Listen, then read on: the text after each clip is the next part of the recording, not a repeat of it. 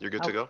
Okay, thanks, Yusuf. And um, it's really nice to be back uh, to uh, the Ask Dr. B show. I want to wish everybody a happy new year and uh, welcome back. Um, this week, we're missing Coach E, uh, but we're really excited uh, and wishing Eric and his family all the best as they uh, await the arrival of their new baby. Um, we haven't heard anything yet, but we're, we're all very excited for Eric and his family.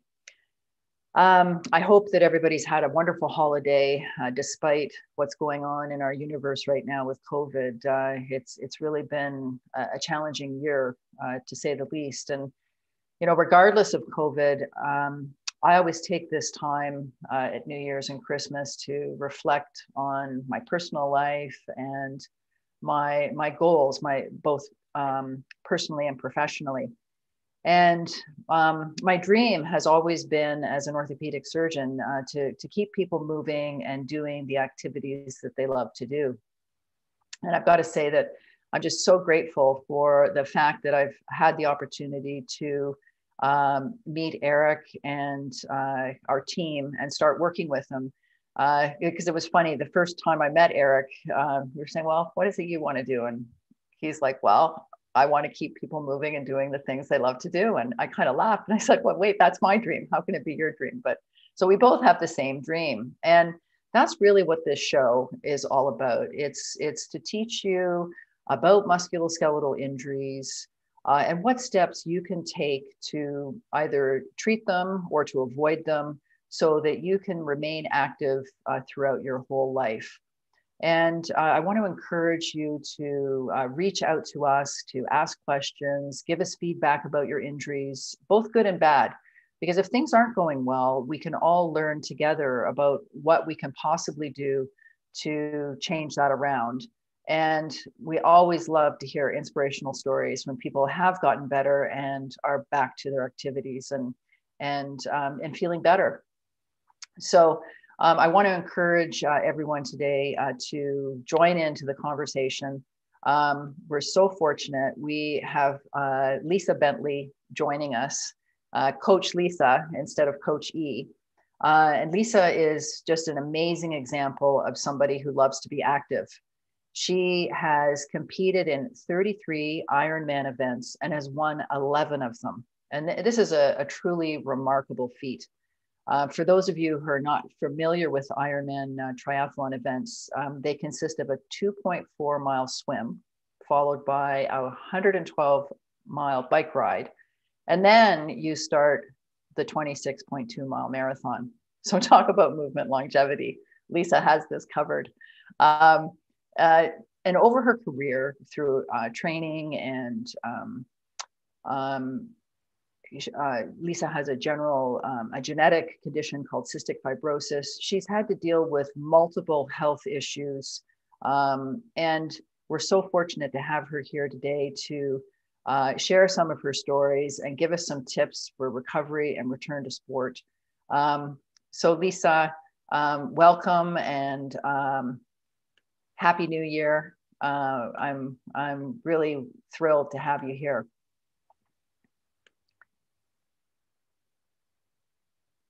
Uh, is she here yet, Use?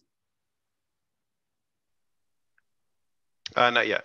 Oh, okay. Well, then I'm going to keep talking. Sorry, I thought she was here. But um, yep. if you, Lisa has a book. Um, it's called The Unlikely um, Champion. And this is a fantastic book. We've got a, um, we've got a link to her book in the um, description of the um, uh, in, uh, for the program below. And um, she goes through uh, some of the um, wins and losses that she's had um, throughout her career. And uh, what I loved most about the book is it wasn't really about winning, but it was about um, learning skills and tools to have fulfillment within your life, to win in life and um, achieve happiness. So um, I think she is here now. Yep. Um,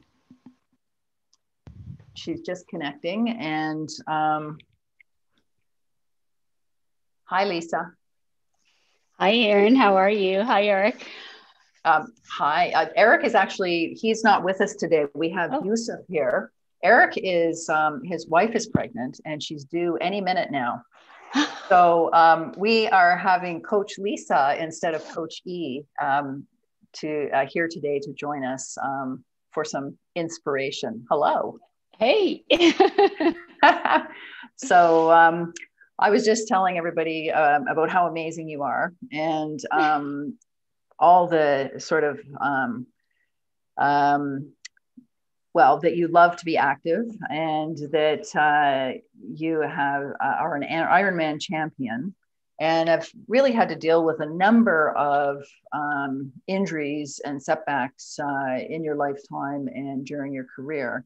And um, I was hoping that today you could share some of your stories with us and some of your inspiration, uh, because I've, I've gotten some emails over the holidays with people that are, I think, really struggling during the pandemic. You know, they're frustrated, um, they're in pain, um, their sport is on hold, uh, they're having difficulty getting motivated. Um, and, and so um, I thought maybe we could start out by talking about your recent injury when uh, in September when you fell off your bike and then use this as maybe an example of what steps you take when you're injured and, and then we can delve into some more details of uh, specifics of dealing with not feeling so great about being injured yeah sounds good and and thank you it's uh i've definitely had lots of injuries but it's interesting because i had a great team and you were part of that team that I didn't probably get as injured as I could have.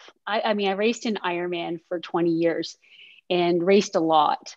And with a body that probably wasn't meant to do Ironman, you know, dead flat feet, uh, cystic fibrosis, you know, I had a lot of things stacked against me, which I didn't really think about at the time or appreciate. It was just, okay, let's do this. Uh, so I had lots of niggles. And I think that's like the key thing is, as everyone moves forward and as we have a new year, is that awareness of if you have a little ache or a pain, if you can nab it in the first 28, 24 to 48 hours, it could be a two day injury versus a two month injury. And I think that is something that I've learned over time. And I've learned that because of the people that are around me that give me good advice, that care about me personally, as opposed to me winning races. They care about me walking when I'm 60, 70, or 80.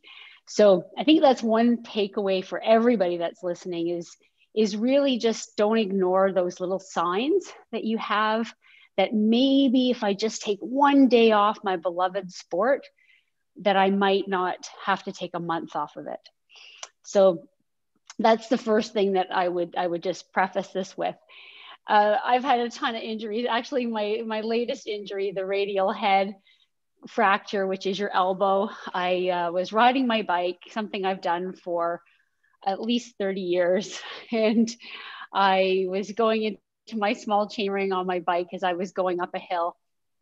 Something I don't do that often. Usually I'm more of a grunter. I just love to like hammer up the hill. And I thought, oh, you know what? I don't, I'm by myself. I can go into my small chainring and cruise up this hill.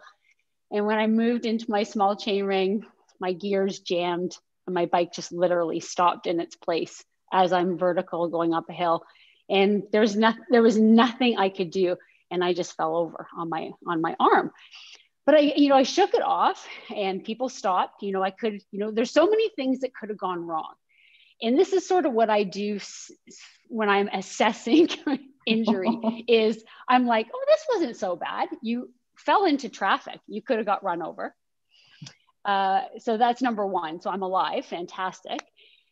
And then I, you know, as you start to gang up on yourself, like, how could this have happened? Oh my goodness, why did this happen? I thought, well, had I, you know, you're when you're on a bike, the bike I was on, I have clipless pedals, which means my cycling shoes actually clip right into my bike, sort of like ski bindings.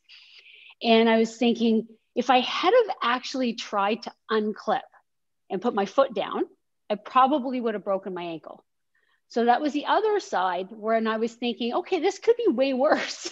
you could have been run over by a car, or you could have actually tried to save yourself. And in doing so, probably fractured your ankle and ankles are a never good thing to fracture. So I thought, okay, I think this is a good thing. But I didn't actually think that it was broken. 17 years prior, excuse me, I had broken my radial head, same arm. And uh, so, I, and I know that part of the radial head, so it's breaking the bone here, is that you can't do the wrist motion. So as soon as I fell, I was like doing this, like, okay, I'm okay, I'm okay, I'm okay. And so I got back on my bike and I kept riding. And because that would mean, of course, I wasn't injured if I kept riding. and um, and so I kept riding and I kept twisting. I'm like, no, I'm sure it's okay. Anyways, I I got home and I iced my arm, my elbow. I didn't actually know what to ice, to be honest, because it was just so such a trauma. And um, took pictures of it and and of course, COVID's happening, and I didn't really want to go to the hospital. And my family was all, you better go to the emergency. And I'm like, well, you know, this isn't life or death. I think I'm just going to give it a couple of days and see if it's better and then get a requisition and actually go get an x ray. So that's what I ended up doing. And sure enough, it was a fractured radial head.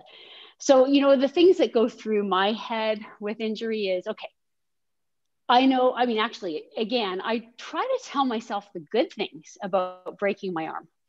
And so, again, the good things were wasn't run over by a car. This doesn't require surgery. It wasn't my ankle, which is a whole other terrible ball game for me and my flat feet.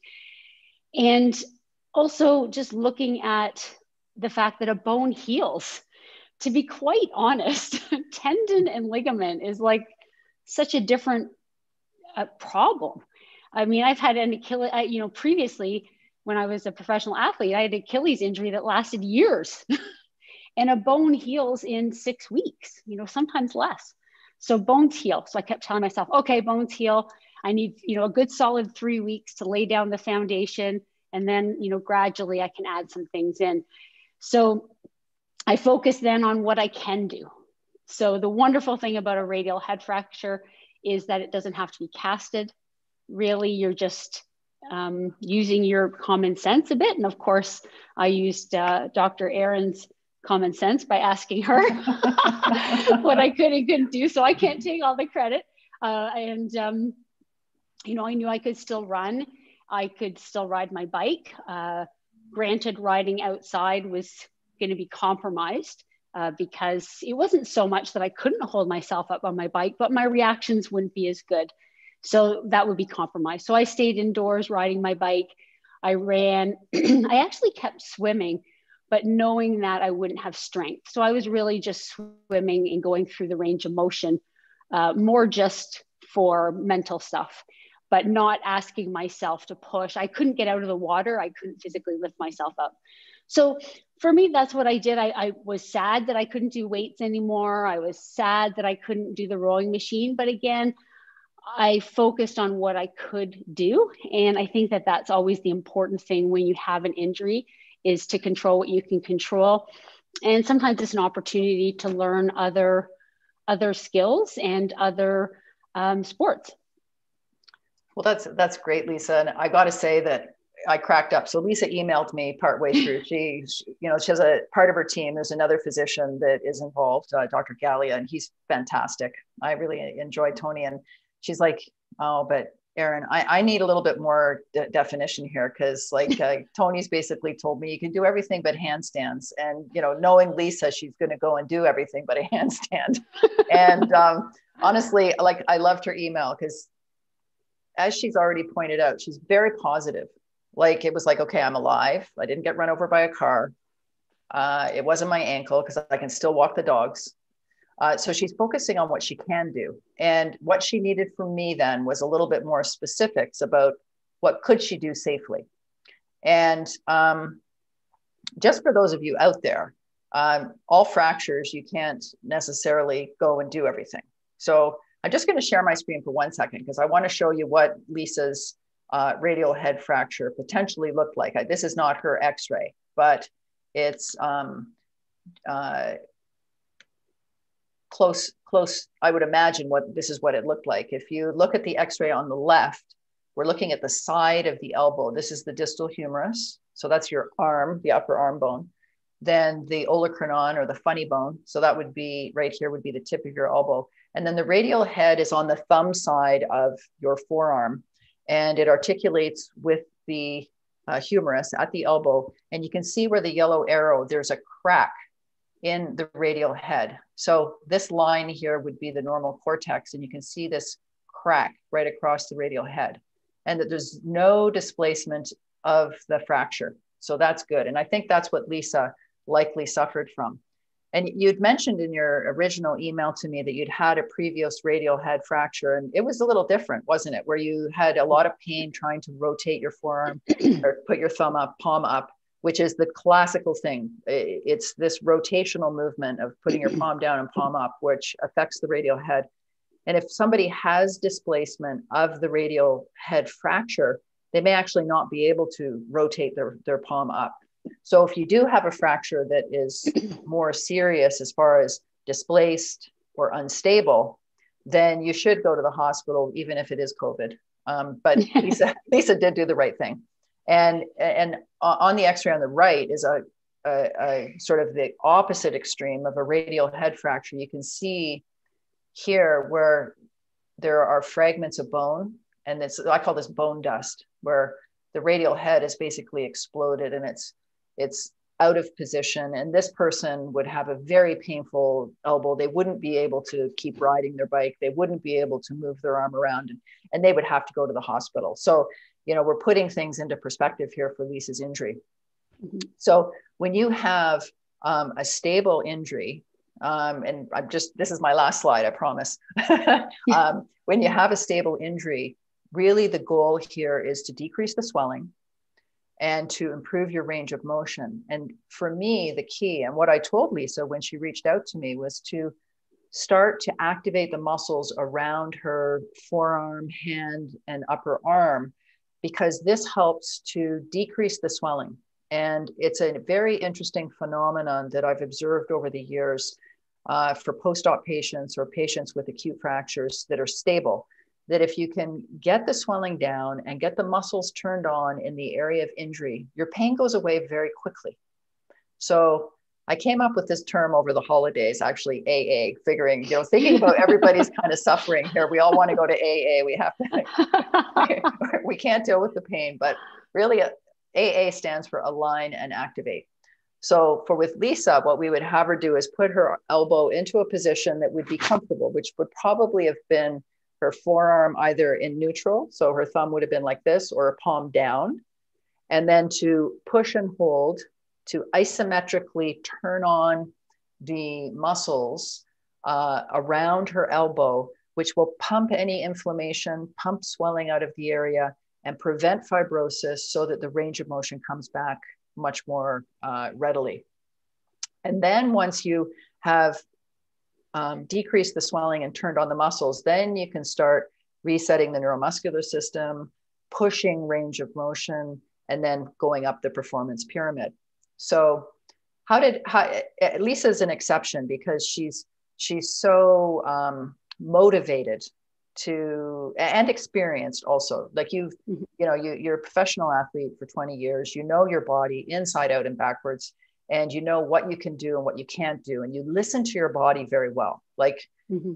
um, so it's easy for me to give you parameters and say okay mm-hmm. um, you know if, if there's a feeling in your body like i'm sure if you tried to load your arm to push up out of the pool which you said you didn't do no. you wouldn't have been able to do it no no and that's what i listened to and you you it was interesting because i was telling you what was hurt it was interesting because the elbow never hurt yes it was swollen but mm-hmm. it was my my wrist of course because yes. of the rotation and so you gave me um, directed me to um, G's um, exercises for the wrist and the elbow the flexed mm-hmm. flex fist and the isometrics and as soon as i did those like this is the amazing thing about doing the right thing is it helped right away yeah. within 24 hours and this is like be- between one and three weeks of a, of a break which are you know that's the painful time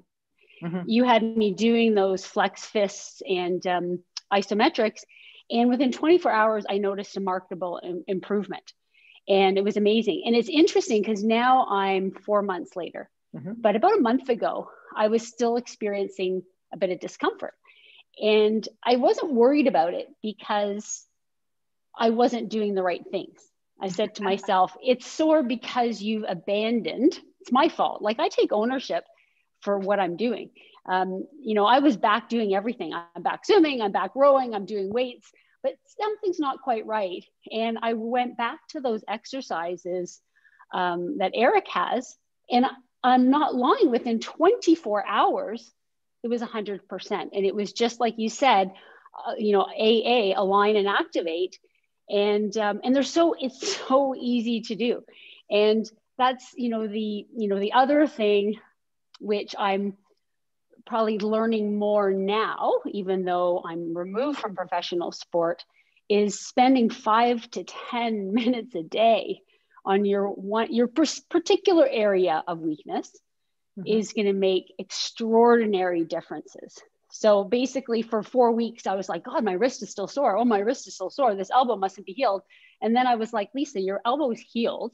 The problem is you haven't done anything to get over the speed bump of discomfort. And within 24 hours of doing those exercises you know it was it was bang on.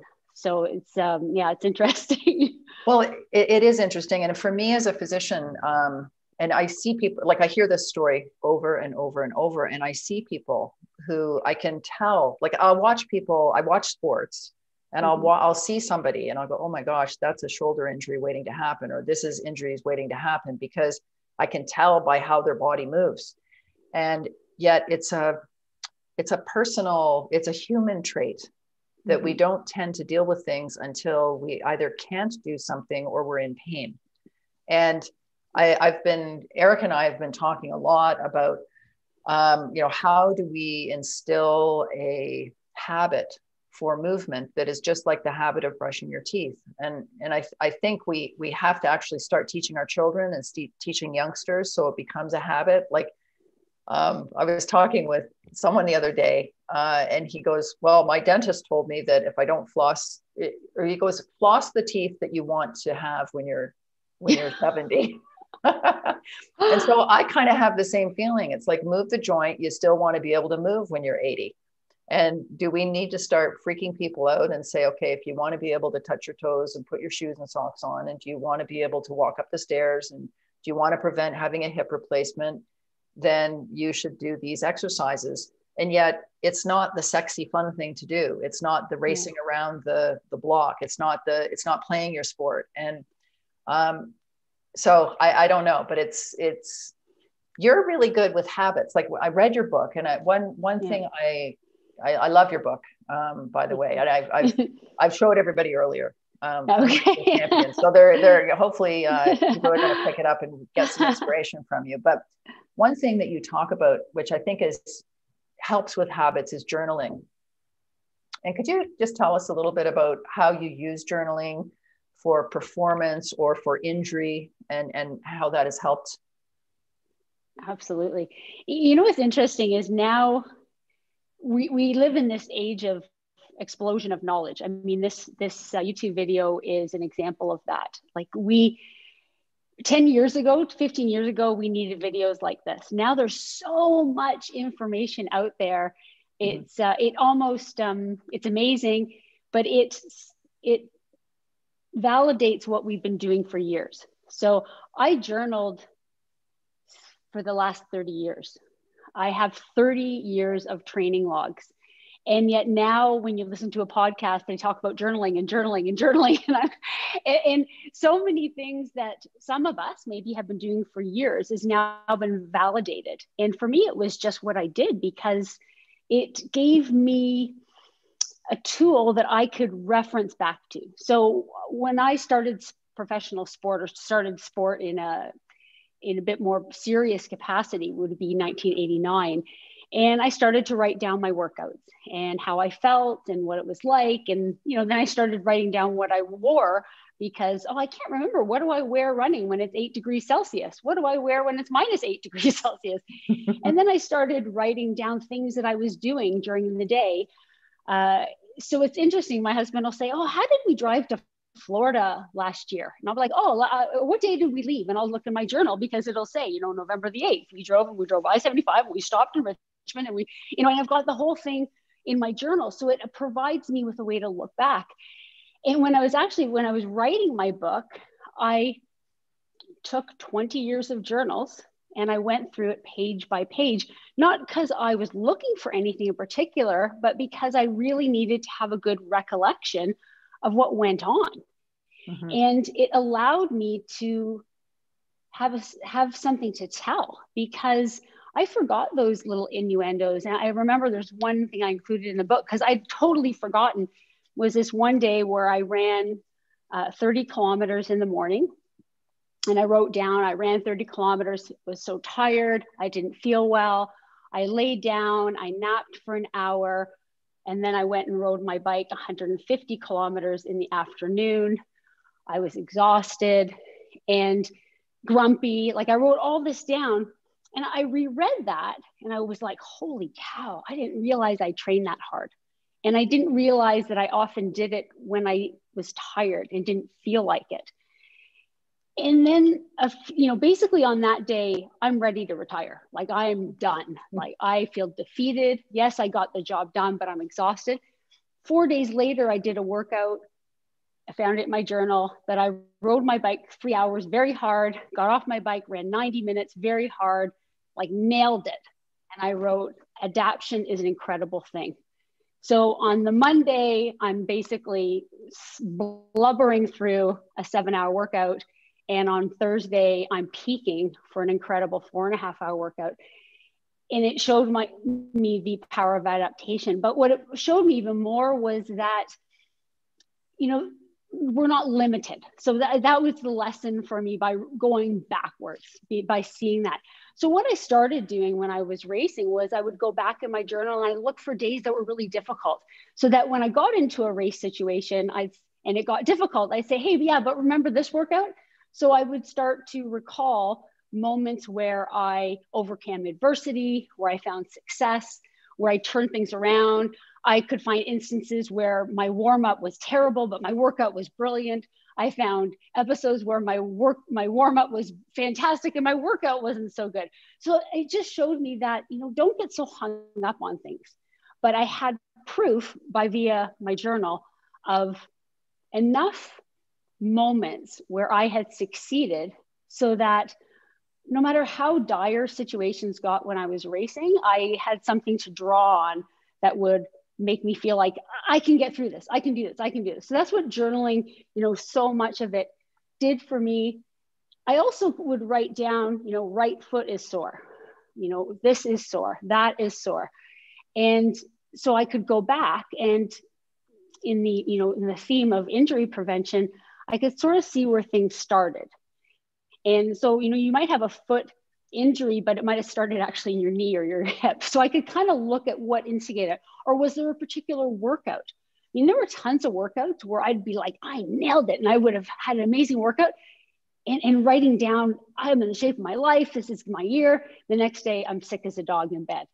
So it's like, oh, hmm. that, you know, that workout was what pushed me over the edge. you know, maybe if I had let off about 2%, I wouldn't be sick and I would be, you know, a, ahead of the game instead of behind.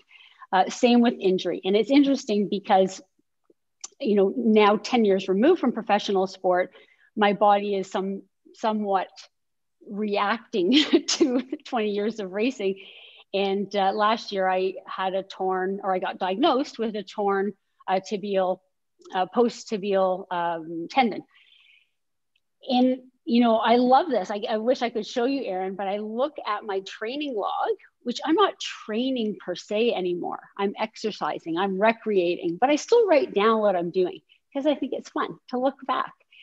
And I look back and I see, you know, big toe sore, little toe sore, um, you know, medial ankle sore, this is sore.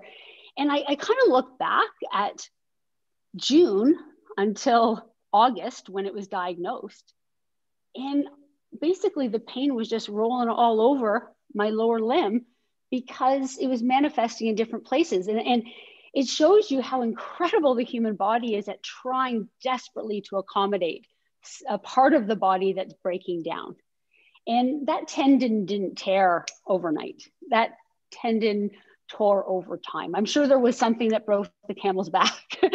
um, in fact, I remember it. I was doing I was doing a speech in Texas, and so you know I've had three months of on again, off again pain. Now, again, as I said, you're better to take a day off than push through it. But I have a history of terrible feet.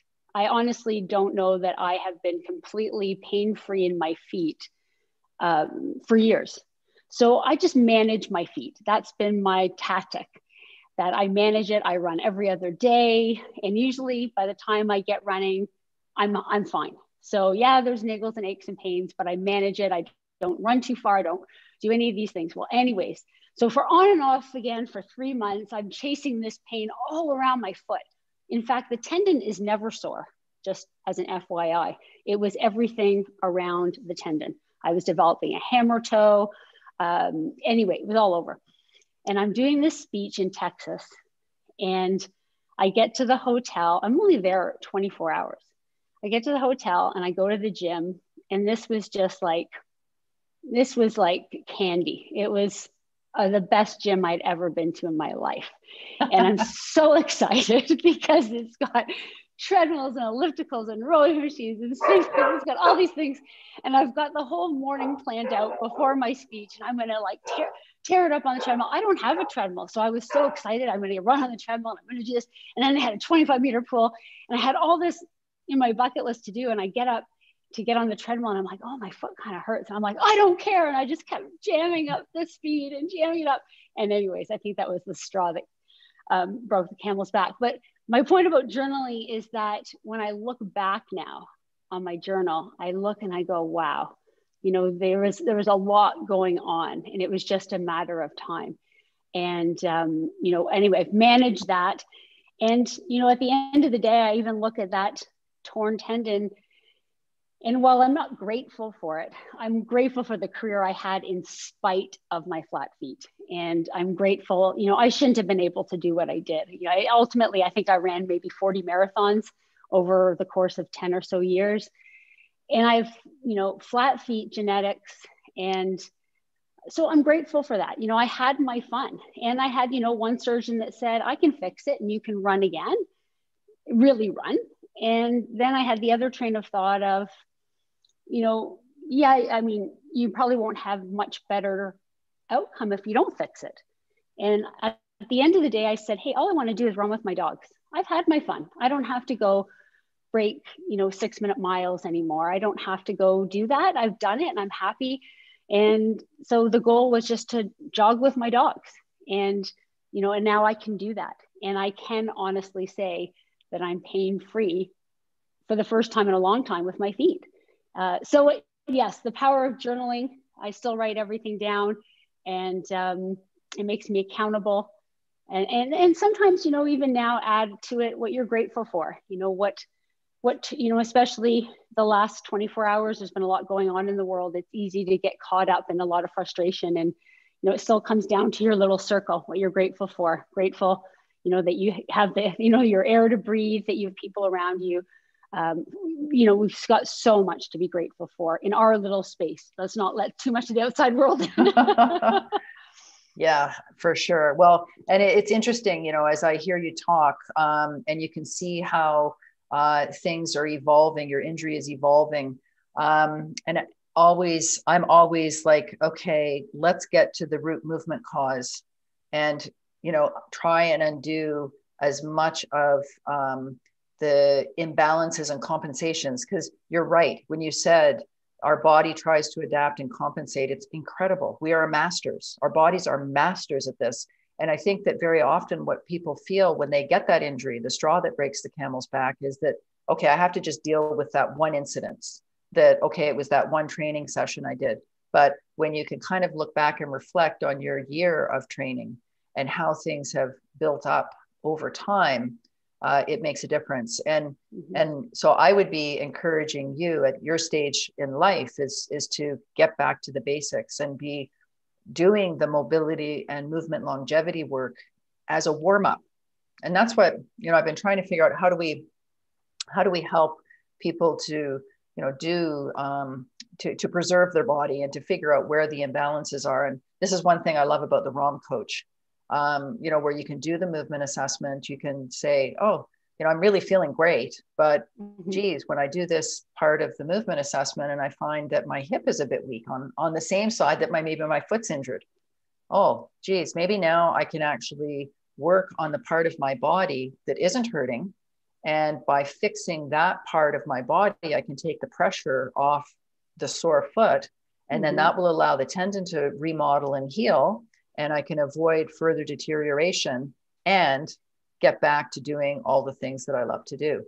So it's um, one thing, and I, I love, and I know you've done this over your career, is when you are injured and you can't maybe do something with your elbow or with your foot, you focus on other parts of your body and look to see can you restore your foundation for movement uh, uh, by doing core work, by doing hip work, by doing shoulder blade work. And uh, have you tried? You, have tried the ROM coach, haven't you?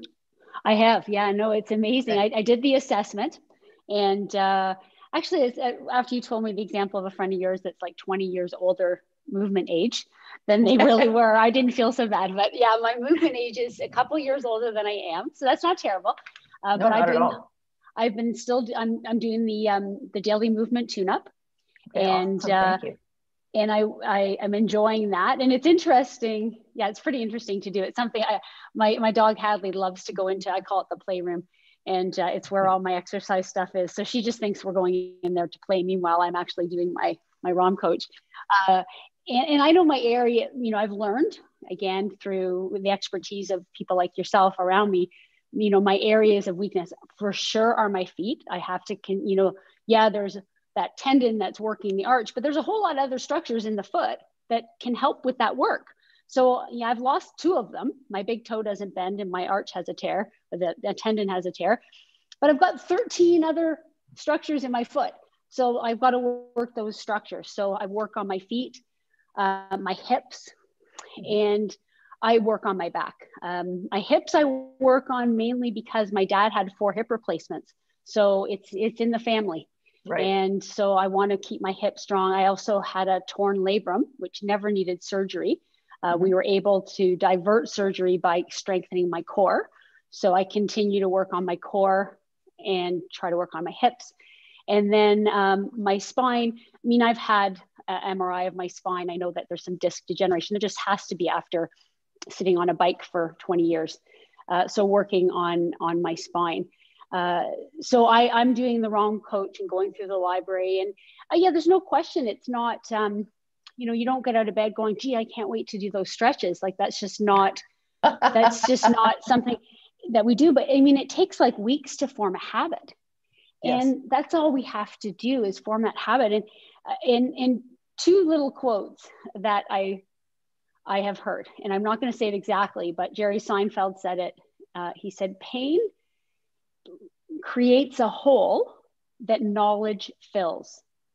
Pain hmm. creates a hole that knowledge fills. So, in the middle of the night, when you get up and you stub your toe on the corner of your bed and you go, ow, you learn quickly to not do that again. And unfortunately, we often need pain to get the knowledge. So that's sort of one thing that I think about sometimes that we, we require that. And then the fact that most of us require loss to happen before we do anything about it. So if if I said, "Hey, you owe me a dollar every time you don't do your flexibility and mobility work," you're going to do it. if I said, I'll give you a dollar every time you do it, you don't care. You don't care about gaining those dollars, but you sure as heck don't want to lose those dollars.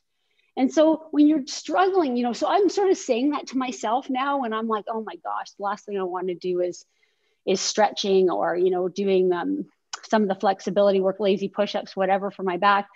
I think to myself, first of all, what's the payback in 10 years when you can't move properly?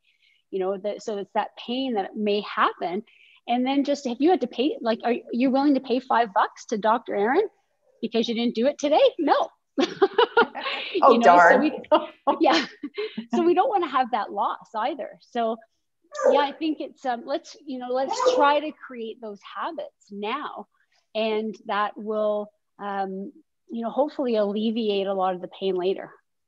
Well, I think you're right there. And, and um, I'm really very interested in the whole technique of journaling because I believe that um, our, our, our thoughts and our beliefs will dictate our behavior. Mm-hmm. And if you can journal and start looking at how you are behaving and acting today with regards to your body and your injury, and then how you may want to see yourself, and then start changing the story of your injury.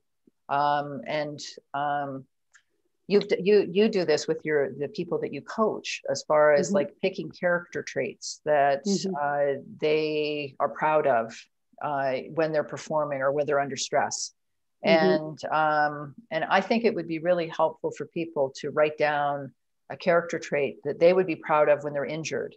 Um, resilience, um, problem patience. solving, patience. patience, patience, exactly, patience, patience. Yeah. Um, yeah. creativity. You know, finding yeah. something else to do, giving yourself permission to actually use that time that maybe you're away from your sport to develop another skill develop another part of your body um, reach out and spend time with people that maybe you haven't been able to do because you've been too busy with all of your other things. So there are there are positives that we can pull out of the negatives. And i think that's where your brilliance is that you are mm-hmm. such a positive person. Like I, I, I love i love actually in the email that you sent to me i remember you said i erin i fell intelligently now i I have a question about that because I'm actually, the team had asked me to do a session next week on cycling injuries. Oh. And oh. so, can you really fall intelligently? Do you, uh, when you're training, do you learn mm-hmm. how to fall off your bike so that you don't break your neck?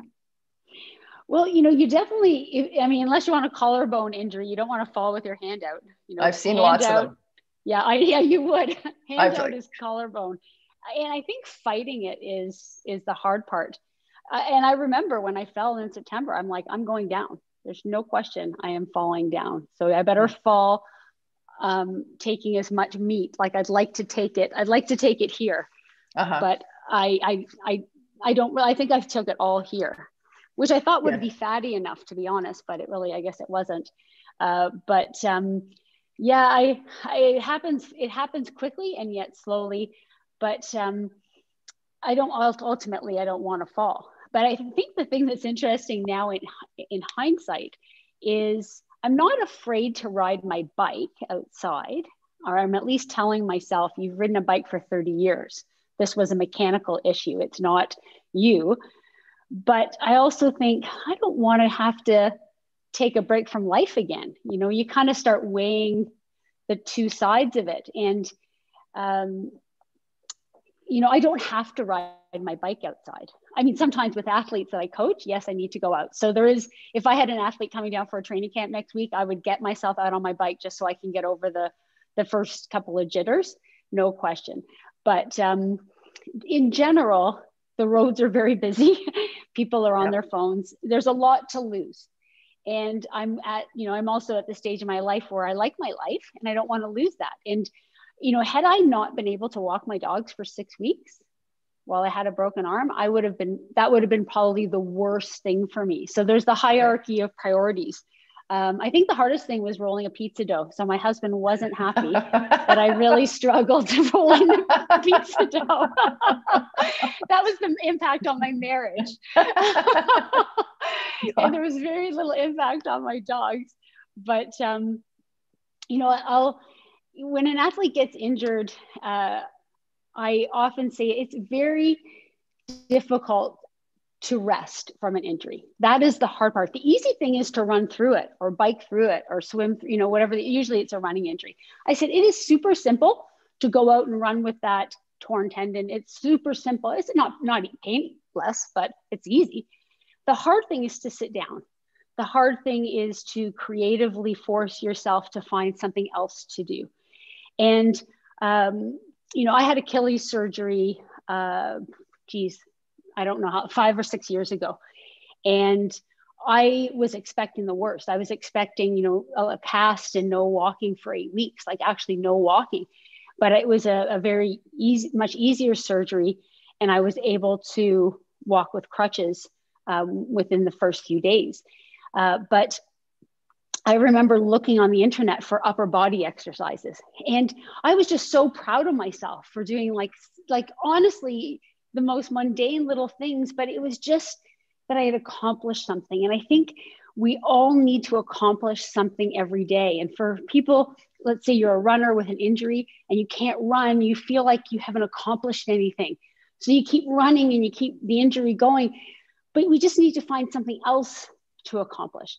And so it's good to seek out people who have had similar injuries. I mean, again, the internet is an incredible place. You can you can find celebrity or sports star who had radial head fracture or Achilles tendon surgery and see how they came back. And that can inspire you that, yes, like in this little minute frame of time, this is enormous. But two months down the road, you're you're working so we we we bite off day by day and day by day things change very very rapidly when you're doing good things and you know i remember you telling me um, you know when i was trying to heal from uh, the achilles injury before it turned surgical was you know picture yourself healing picture the tendon you know you know knitting back together again picture yourself doing all these things. And the mental is just as important. You know when we when we reach out to a physiotherapist or to a sports doctor or a chiropractor, you're not just reaching out for their knowledge and expertise, but also for the reassurance and also for the mental health part of it too. I, I think that you're doing yourself a disservice if you haven't found somebody that not only can can share with you the road to recovery physically, but also a little bit of the road to recovery mentally that's going to help you get there because the mental is just as important. So I really like people to, you know, list, hey, wh- where am I being strong today? Like, what am I doing that's strong? Yeah, I can't run, but what else have I done today? Well, you know, I swam four lengths of the pool. I've never swam before. Brilliant. You know, uh, something else that you did, or I really wanted to run and I didn't, or I really wanted to walk. Maybe walking isn't even good for you right now. So I resisted the urge to walk, or I resisted um, the urge to walk barefoot in the house, which wouldn't be good either for an Achilles injury. So really list those things that you're proud of. It's so easy to get go fall down in the vortex and say, "Oh, I'm so defeated." But when we sit down and we actually write down the list of things we have going for us, we can show ourselves that we are far more incredible than we could ever imagine. Well, I, I, and I think you're you're very correct there that the writing is also so important. That you know a lot of times I, I've thought, oh, I think this, I've thought it, you know, or even the visualization. It's one thing to visualize, but there's something about the connection between the pen and the paper and your brain that mm-hmm. I think you bring a lot more senses in. So you have to feel it, you have to see it, you're actually physically writing it. It's different than typing on the computer it's it's bringing and you can even speak it at the same time so you're bringing mm-hmm. all of these senses um, which connect to your body in a very very strong way the mind is kind of you know out there and it it, it provides eventually the motivation and the the the the spark plug to actually for action but um, you don't want a lot of reaction. it's like the emotional yeah. reaction that is negative, anyways, is is detrimental. So the writing and journaling and turning it into positive, like read you can read it, it can be negative. Like it's okay if it's negative, but get it out.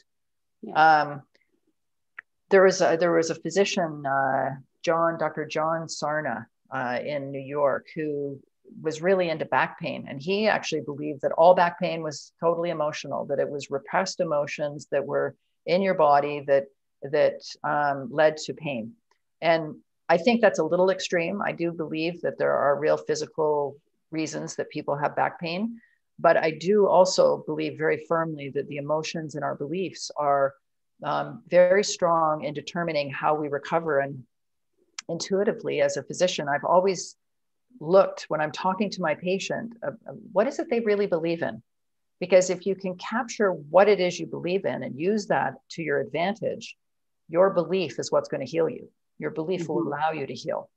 So if your beliefs are all negative, that's a problem. And but then if you write it down and you read it out to yourself, and it's only for your ears, nobody else has to hear it, make it as truthful as you possibly can. But then you can change those beliefs and, and you can change them over time. And there's a lot of um, evidence in the performance world. Um, and you know this yourself, you know, you're journaling and you're, and you would tell yourself, uh, I'm the world champion.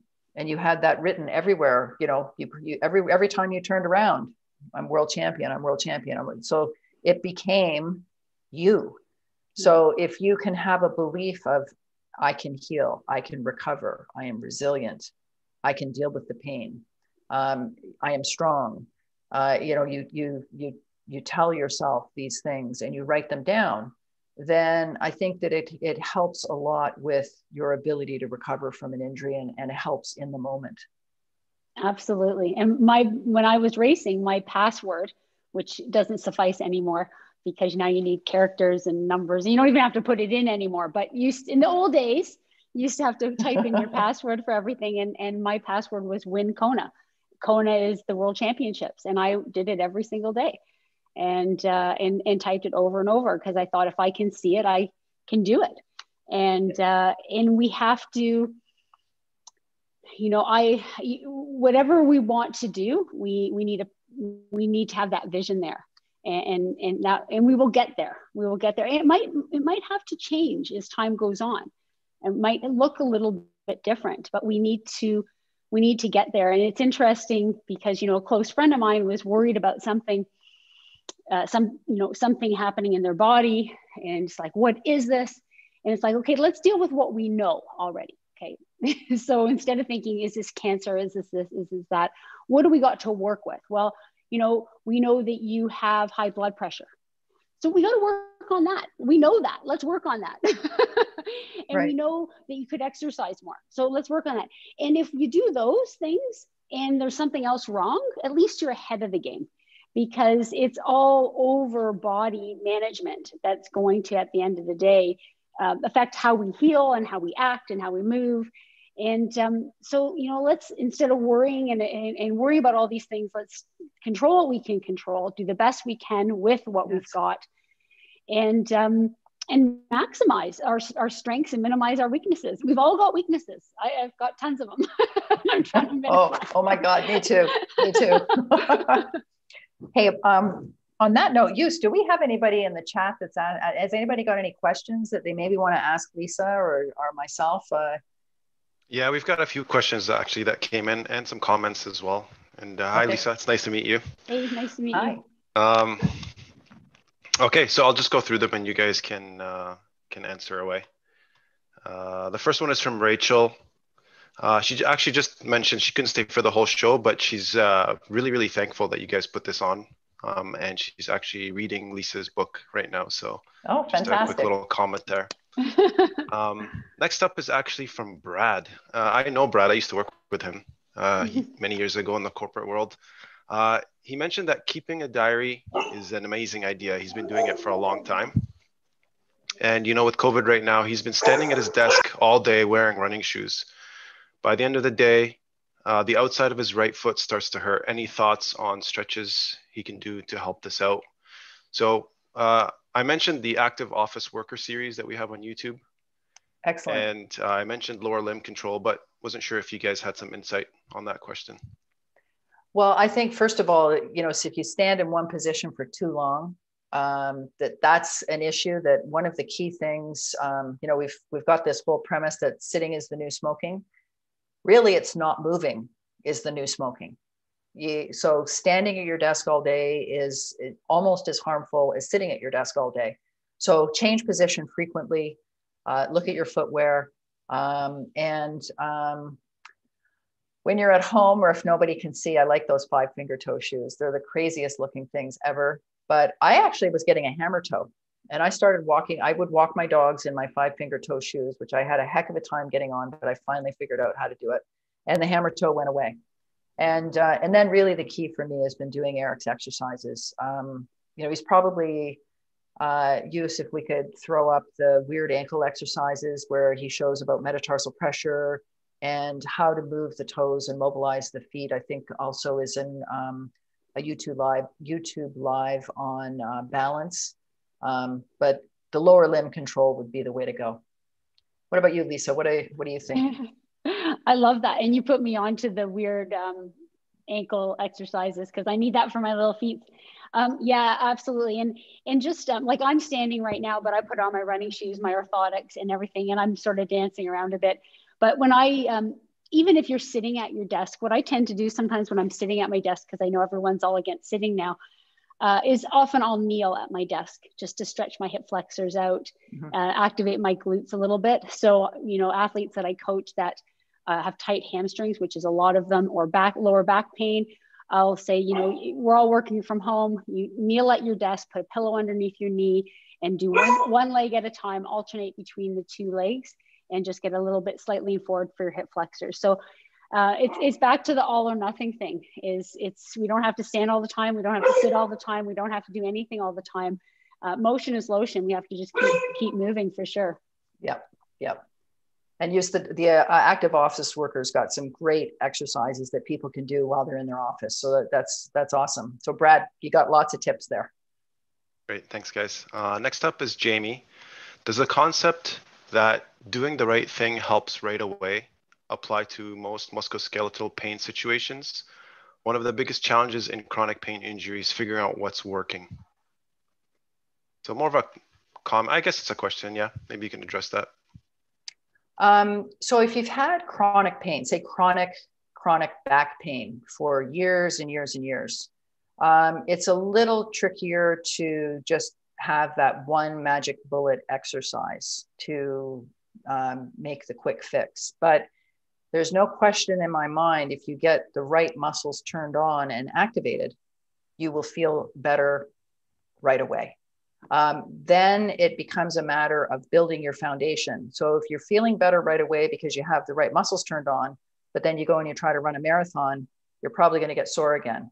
So you have to go through the steps of not only building the foundation for movement, but then building your pyramid by building endurance, strength, power, and speed, depending on where you want to go. So it's a little bit more complicated with the chronic injury, but definitely fixable if you get the right path. Great. Okay. Um, next up is from Aiden. Hey, Dr. B, I have non-displaced tears in my hips and have a CAM FAI. I'm currently doing the TFL and spine control programs, experiencing a lot of pain doing the banded distraction stretches. I was told it was possible to flip the tear. Is that even possible? Also, at what point would you recommend someone go under the knife? I've been working on TFL and um, spine control for two months and still in a lot of pain. Okay, so uh, to address your first question um, about flipping the tear, uh, I would have to see your MRI to kind of see what how big the tear is.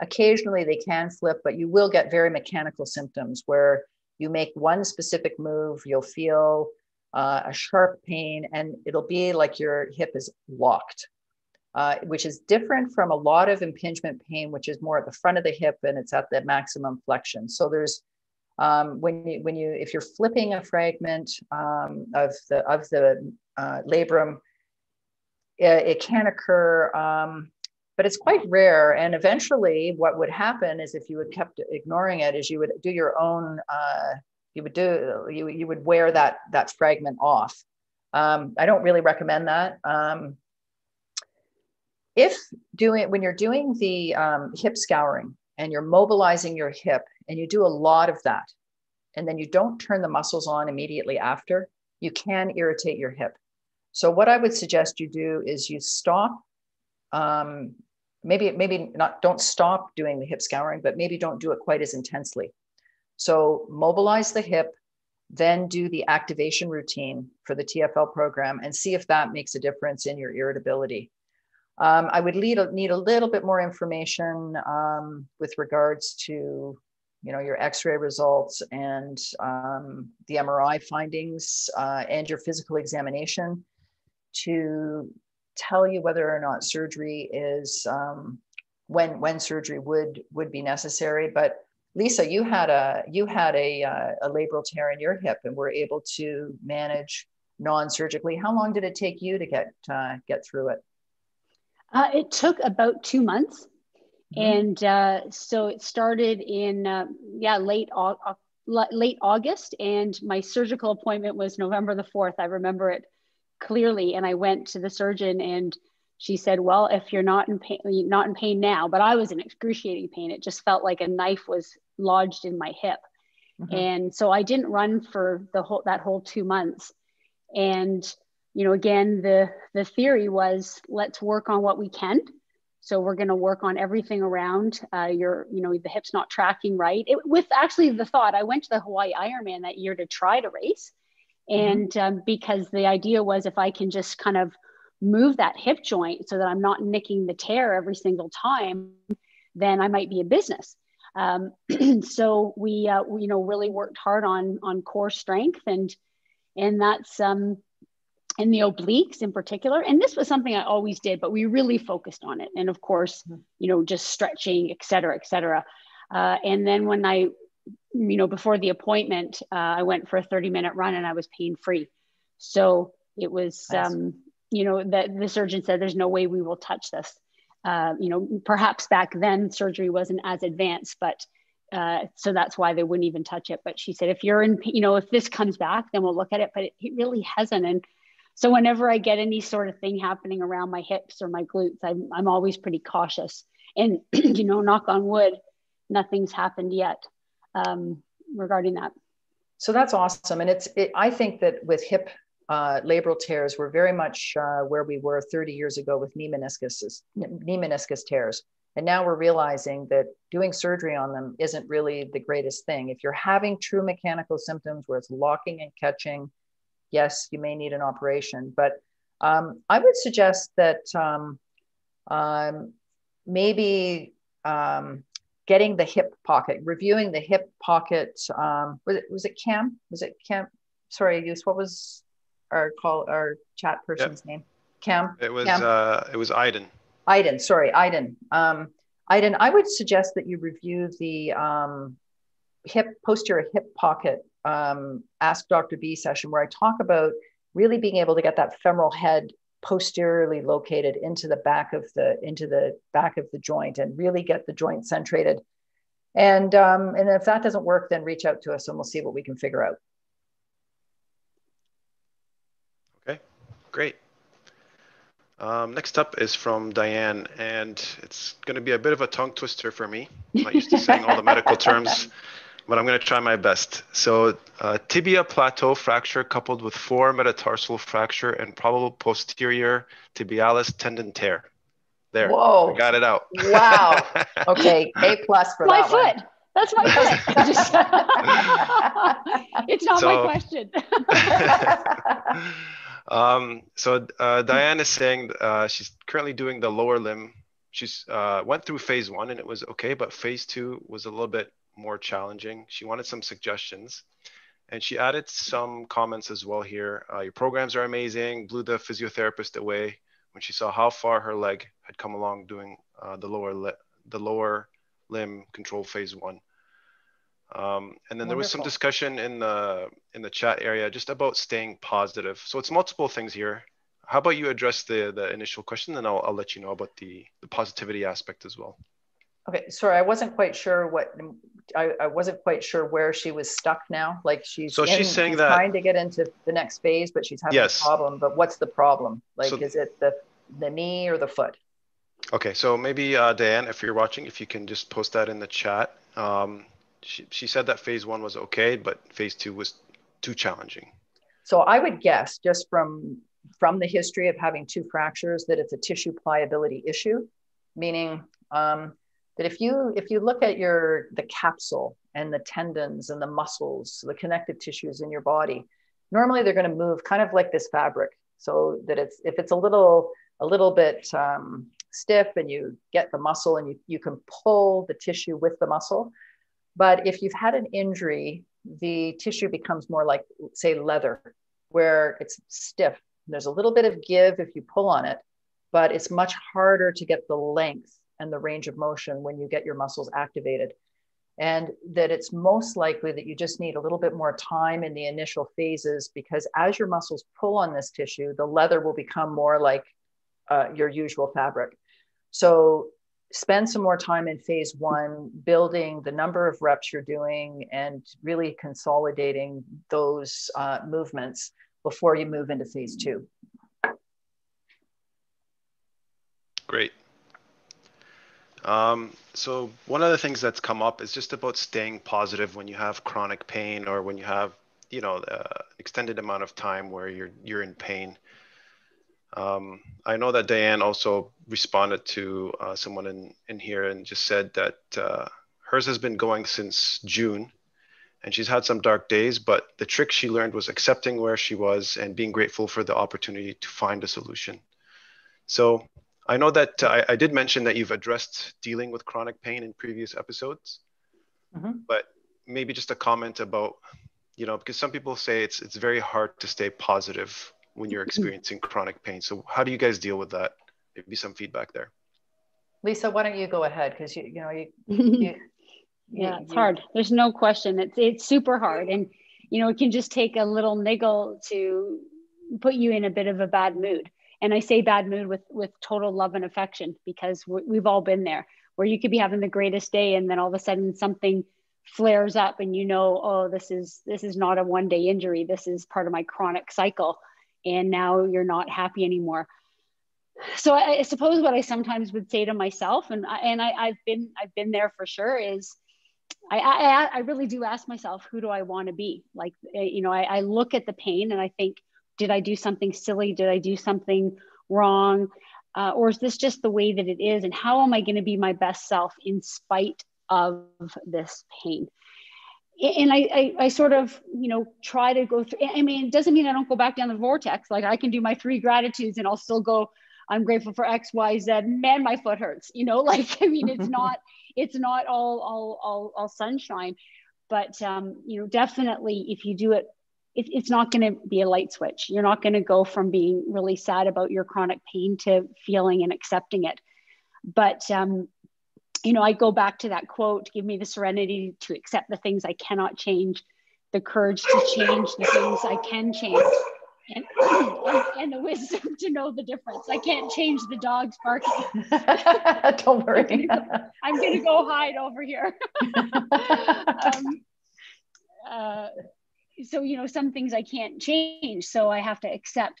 But I mean, I think for me, I, I definitely try to problem solve as much as I can what's going on. So, as someone who's had a ton of foot problems, I probably have 10 pairs of orthotics. I, um, some people invest in the stock exchange, I invest in orthotics. And, you know, there might be one that works for a few months and then something develops and I have to switch to another pair of orthotics. So I'm constantly problem solving and constantly trying to figure out what works. You might have one pair of shoes that works and, and then all of a sudden it doesn't. So having multiple options, like know where your weakness is and then have strategies, develop strategies to deal with it the best that you can. So um, as someone, you know, as you said, you have foot problems. So I'd have a lot of different shoes. Some days you might need a wider shoe. Some days you might need a heel lift. Um, some days you might need uh, something with a wider toe box, you know, whatever it happens to be, having different orthotics, having tape. So sometimes you might have to tape some toes together. So these are the things that I go through.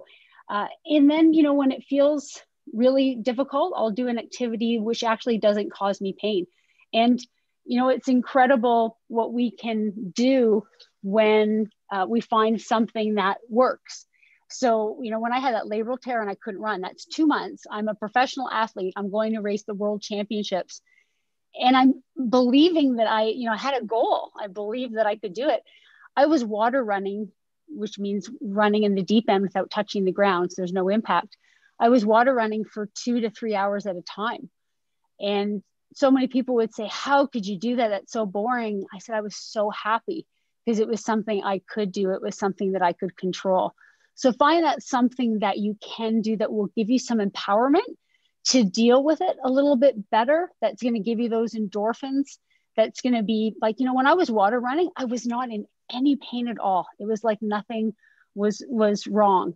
Um, you know, again, a few years ago, I was had to go on intravenous because I've cystic fibrosis, and uh, I, you know, my lung function was terrible. I was not very well.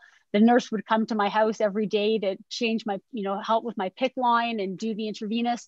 And she came once, and I was riding my bike, my stationary bike, and she was in shock.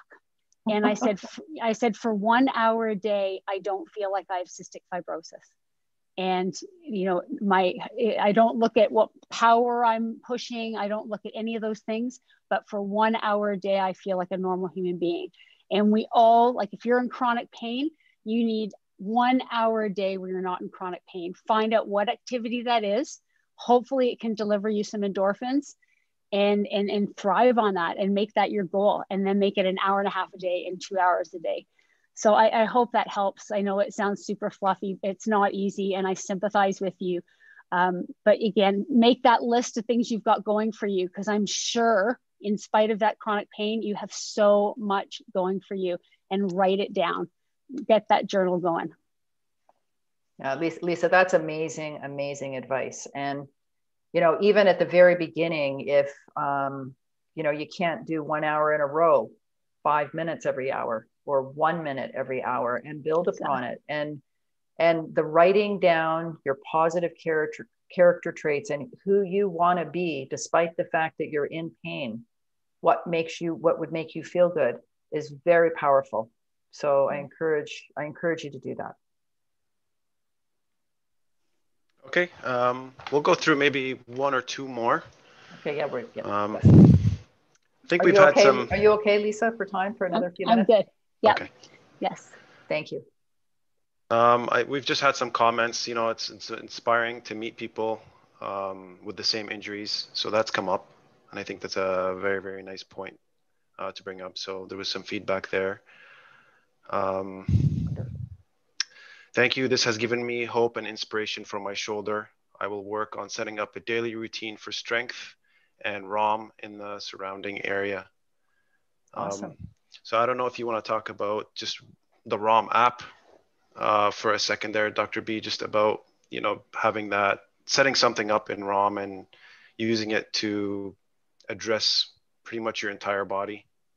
Well, the one thing I'm thrilled about ROM um, use is that, uh, and Lisa, is that um, you may be hearing about oh you get an imbalance in your body or you you know you have a little ache or a little pain but you're not really sure where to start. Maybe you don't have that team of uh, you know a personal trainer or a physiotherapist who really um, is available to you.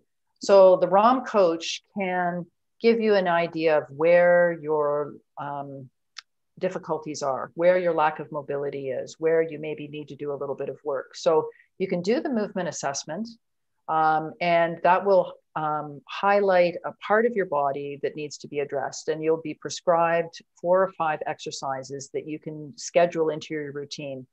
And um, I mean, me personally, I had a number of areas like, uh, and, and it's, I, I think one of the, don't get depressed if you get on there and your movement age is like, you know, 100 years older than you really are. Like I've, I've heard people say that they're really kind of down in the dumps because gosh, they don't want to be older than, than they are. But I had one of my friends, she's an emerge physician uh, in Wisconsin, and she's working like a dog. And with the way that she um, gets some of her stress out is she goes on a group Peloton ride every day. So she's like incredibly fit with uh, her cardiovascular system, but she feels stiff. Like she, so she's um, she's 30, 32. So she goes, she she can't get out of bed in the morning. She oh. she's really stiff. So I said, try this ROM coach. And she did it. She texted me. She goes, Oh my God, I'm like 10, 15 years older than I should be. And I said, I said, beautiful. This is beautiful. This is exactly what you need because you can schedule in five um, or 15 minutes a day before you get on the Peloton bike or before, you know, try to try to tag it with something like something that you do every day, whether it's walk the dog, you know, you're going to do it just before you walk the dog and you're going to address an imbalance and you're going to improve your mobility so that when you're 50, you're riding your Peloton faster than you are now. That when you're 80, you're not having a hip replacement and you can enjoy the quality of your life. So it's not really a program to heal a significant injury, but it's a great program to point out where your imbalances are and give you something to do. Uh, and even doing it once a week, like I, I thought, oh geez, let me. I'm going to just try this neck restoration once a week. Um, and I couldn't believe the difference between the first and the second time, and then the third time in particular that I went through that specific program, how much better I was. So it, it, I think it's a fantastic tool. And then the other thing on the on the ROM coach is the daily movement tune-up, which um, is the concept of making movement part of your daily life, just like you would brush your teeth. So spend three to five minutes on your body. Uh, you can you, you, can tap on three areas that, of your body that you might be interested in. For me, it was uh, my neck, my elbow, and my knee. And then I'm given a random three exercises every day. And over a two week period, I hit all of these parts of my body. Uh, and uh, it's helped me maintain good mobility and, uh, and strength. So I really hope we can get people into this habit and joining us um, to, to keep moving. Because for me, life is motion. It's, mm-hmm. it, you know, it, I remember this 90 year old patient I had. He was, he came in and he was an ultra marathoner, Lisa, ultra marathoner, and he loved running. I said, Hey, how you doing? He goes, Well, doc, I figure if it doesn't hurt, it's dead. so this really, you know, often if, if, you're in pain, at least you know it's alive.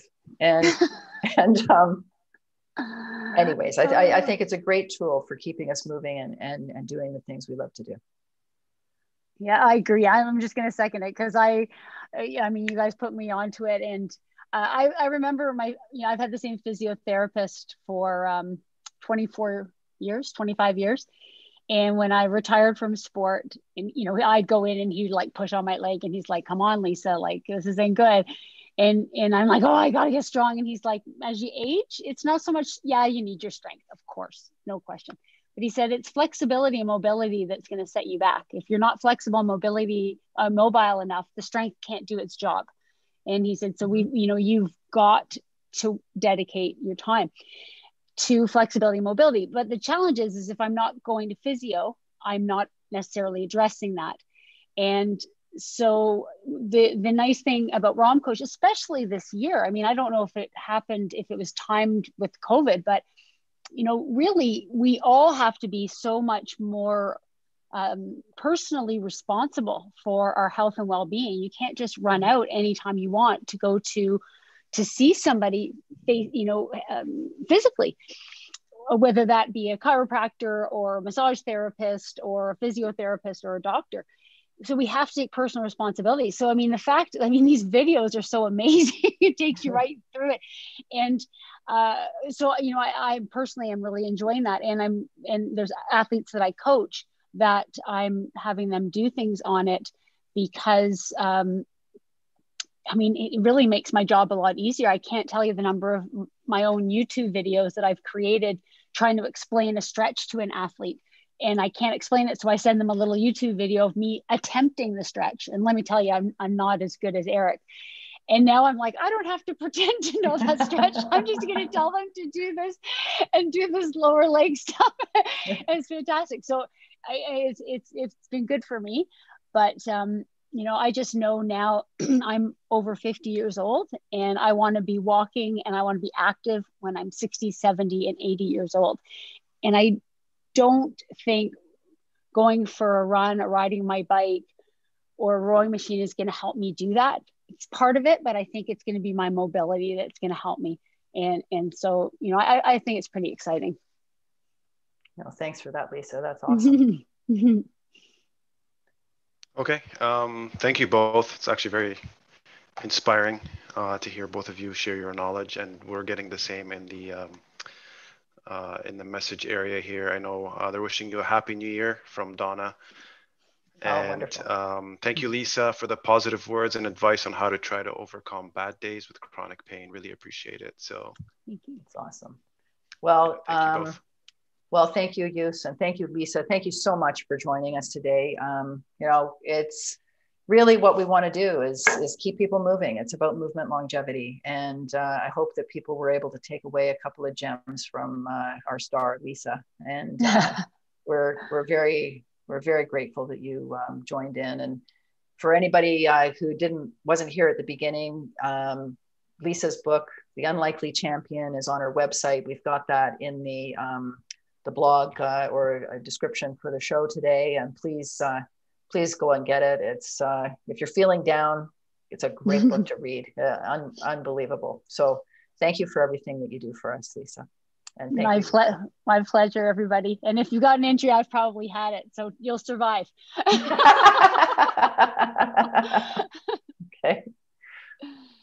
All right. So I've posted the, the link to the book actually um, in the comments. So if anybody's looking for it, you can find it there.